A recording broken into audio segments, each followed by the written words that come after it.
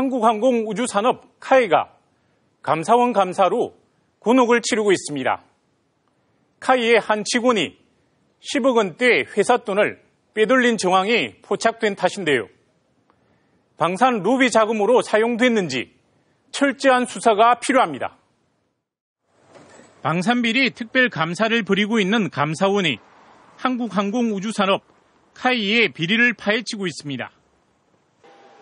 지난 1월부터 두개반 10여 명을 투입해 진행한 감사에서 카이의 한 직원이 회사 돈 10억 원 가량을 빼돌린 정황을 포착했습니다.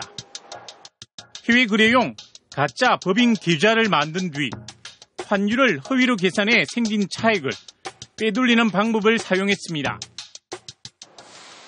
감사원은 카이가 이 비자금으로 한국형 기동헬기 수리온 등 무기개발 사업 수주 과정에서 로비에 사용했다는 의혹을 갖고 있습니다.